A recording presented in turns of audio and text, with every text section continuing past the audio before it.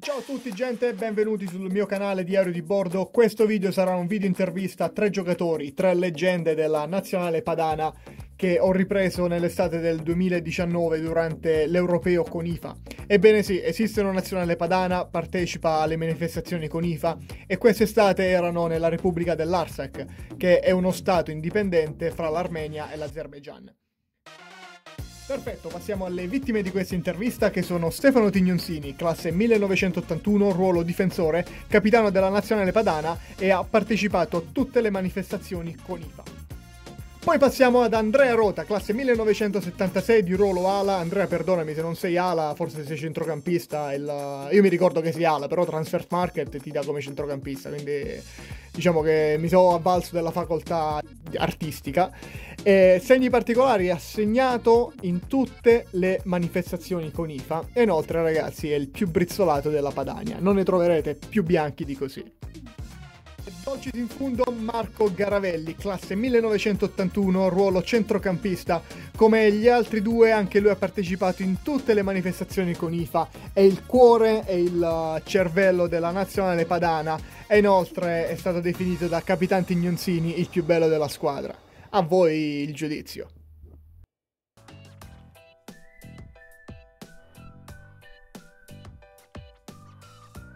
Allora, per me, vabbè, eh, ho avuto la fortuna di segnarli in tutte queste manifestazioni, e, però veramente ho ben eh, stampato in testa quello che ho segnato a Cipro eh, nella terza partita del girone. È una partita molto simile a quella che abbiamo giocato contro la West Armenia l'altro giorno dove dovevamo vincere per passare il turno.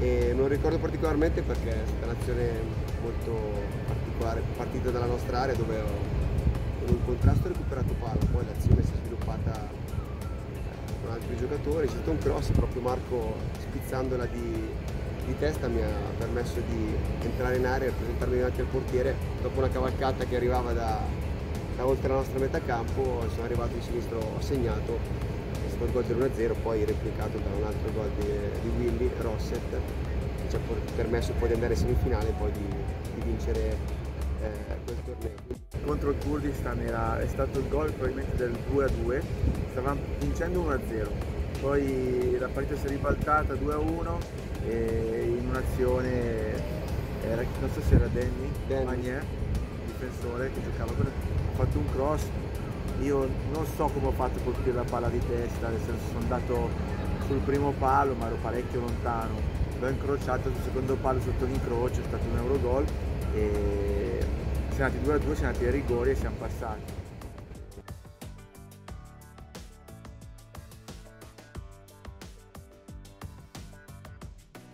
Del gol per me è, è molto spiccio perché da difensore ne faccio veramente poco, però sono stato fortunato in, in torno dei coni alla fine ne ho fatti tre se non sbaglio e due li ho fatti nelle unique edizioni e invece due li ho fatti nelle, in Ungheria, a Debrecen, uno in finale ho aperto le marcature e quello è il mio ricordo più bello.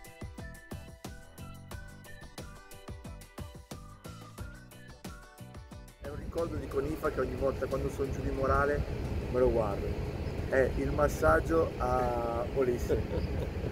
Eravamo a Cipro e avevamo questo fisioterapista che giustamente giocavamo ogni giorno e ci aiutava a recuperare e ha fatto questo massaggio a, al nostro direttore, era direttore, direttore, direttore, al direttore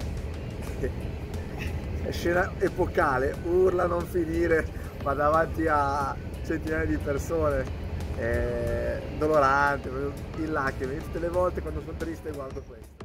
Io invece quello più divertente è successo in campo ed è successo a, in Svezia, a Ostersund. Eh, dell'allenatore era Fabian Valtolina, che saluto, ciao Fabian.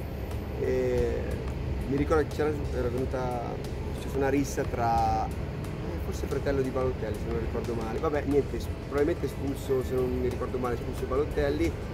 E il nostro mister Fabian cercava, parlando un pochettino maniera non ottimale l'inglese, cercava di farsi capire dal, dal guardialine e la scena fu veramente epocale perché il guardialine era un, un colosso di due metri e lui gli si faceva incontro, non essendo molto alto, più o meno come me, la scena era molto bella perché quell'altro gli diceva di uscire dal campo, lui non voleva uscire, l'ha guardato un attimo così e dopo qualche secondo di ripensamento ha preso, vabbè esco, ha preso e è uscito, quindi una, una scena che mi ricordo molto bene. Eh, anch'io però eh, leggo ricordi in Svezia.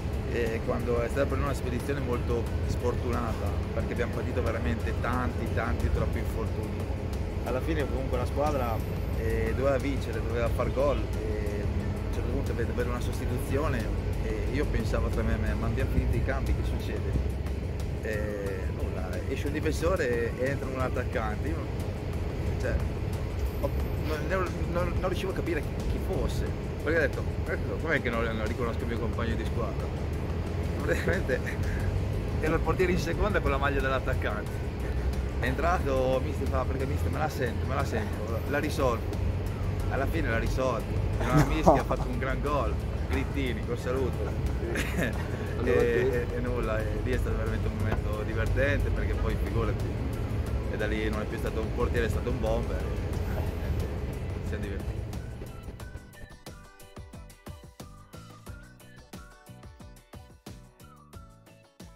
quello che mi ha fatto più impressione è stata nella prima edizione in Svezia, a Ostersund, quando abbiamo incontrato nei quarti di finale la contea di Nizza che poi ha vinto il torneo eliminandoci 2 a 1 in quella partita e mi fece veramente molta impressione il, il, il loro centravanti che era un ragazzo di, di colore di cui ovviamente non mi ricordo il nome ma molto alto fisicato che aveva anche delle buone qualità tecniche che poi ritrovammo l'anno dopo a Debrecen in finale riuscimmo poi quella volta a sconfiggerli, però veramente lui mi fece una grossa impressione.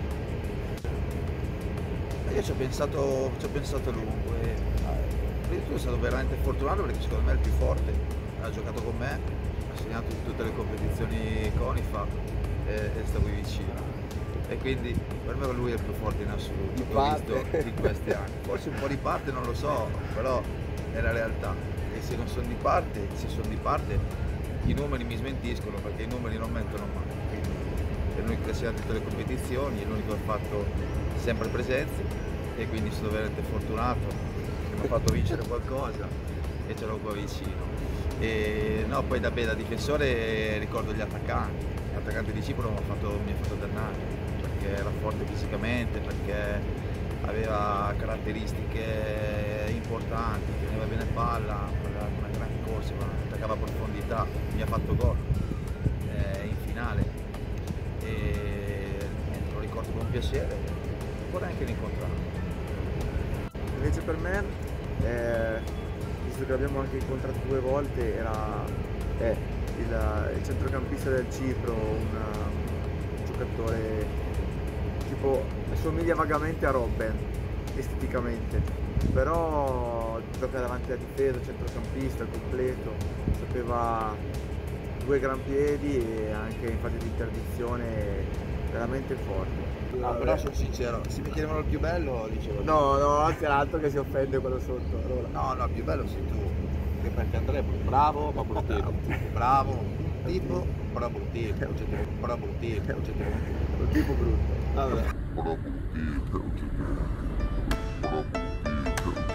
E niente ragazzi, con questa immagine della faccia perplessa di Andrea Rota si conclude così il nostro video intervista. Se vi è piaciuto condividetelo, ma soprattutto se siete interessati al vlog calcistici seguite Diario di Bordo dove nei prossimi, nei prossimi giorni, nelle prossime settimane usciranno nuovi video su nuovi stadi. Grazie mille per la visione e ciao gente!